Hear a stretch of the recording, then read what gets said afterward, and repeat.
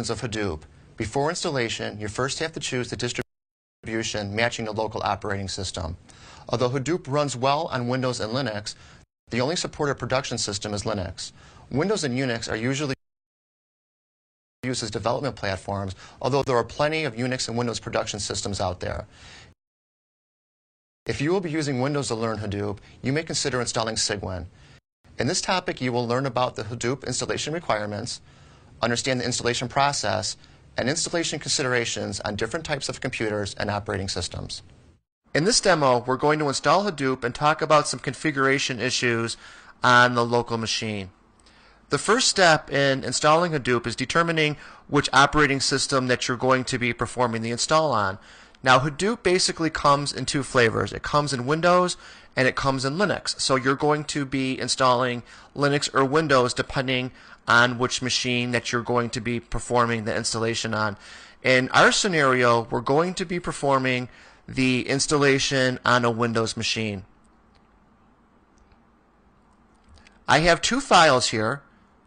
I have the Hadoop distribution and I have the config distribution.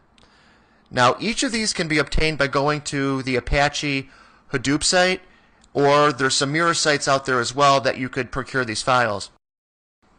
So I'm going to double click on the Hadoop 2.3 file.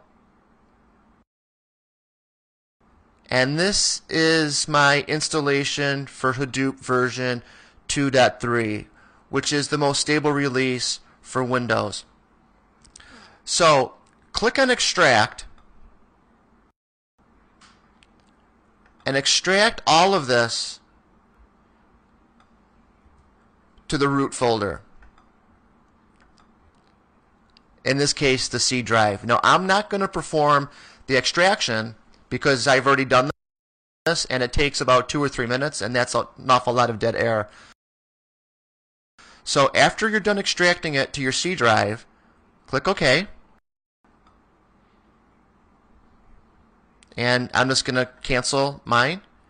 And when you're finished, you can close up your jar file. The next step is to verify the installation. Click on File Explorer.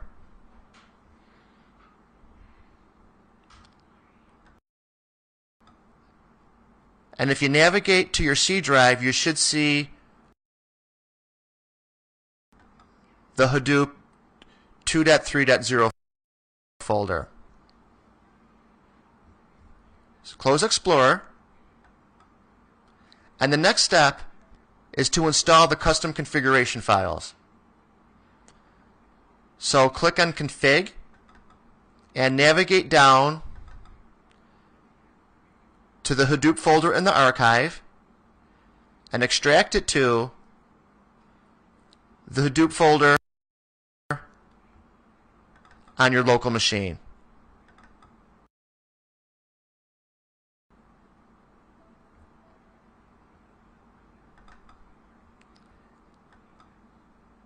And you can click on Yes to All to overwrite all, all the files.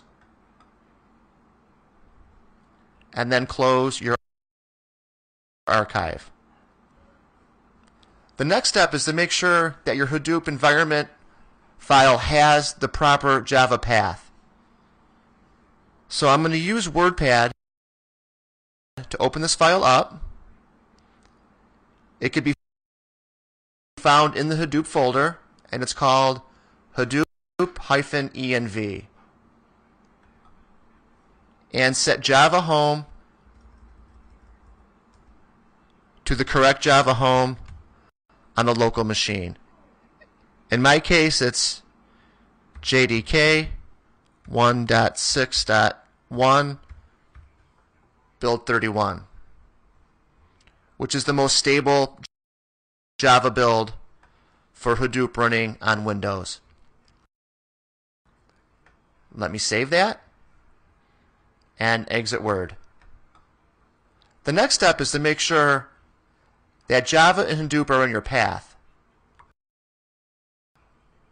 So click on this PC for the local machine, navigate to Properties, Advanced System Settings, environment variables, and make sure that Hadoop home is set and Java home is set. And also make sure that each of the respective bin folders are in the Windows path.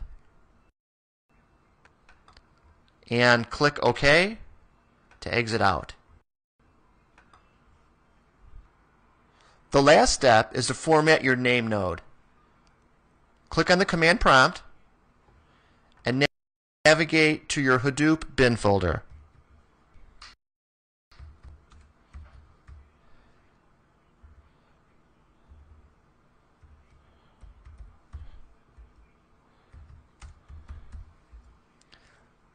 Then issue the following command.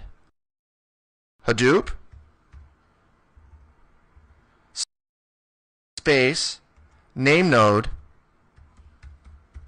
space hyphen format. And then hit enter.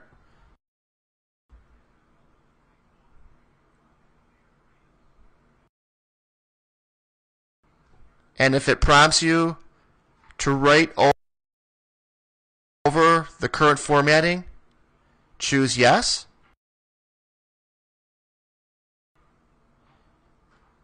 And Hadoop will continue to format. Then you should see a message that the name node is shutting down. This is actually successful.